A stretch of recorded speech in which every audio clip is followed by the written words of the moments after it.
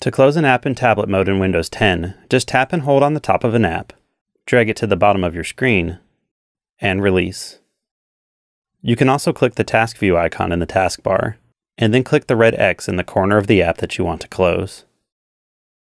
If you have any questions, you can always visit our website at www.acer.com.